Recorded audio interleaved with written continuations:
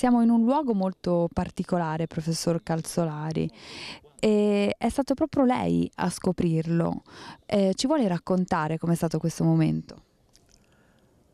È un momento che risale a vent'anni fa ed è dovuto al fatto che qui sotto c'è una macina da cereali molto antica, si ritiene del V secolo come diciamo, tecnologia, al V secolo a.C. Quindi io portavo l'Università Popolare di Lerici, l'Università delle Tre Età, a visitare questa macina, passando qui davanti.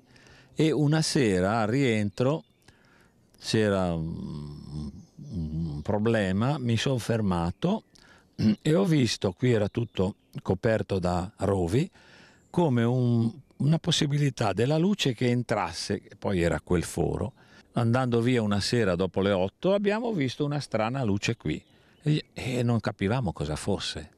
Mai, non c'è mai stato in letteratura un, un cenno a qualcosa del genere, quindi siamo ritornati, abbiamo fotografato e abbiamo fatto la prima fotografia della farfalla.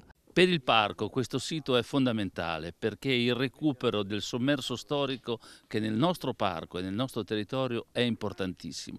Questo come con l'aiuto del professor Cazzolari stiamo cercando di valorizzarlo.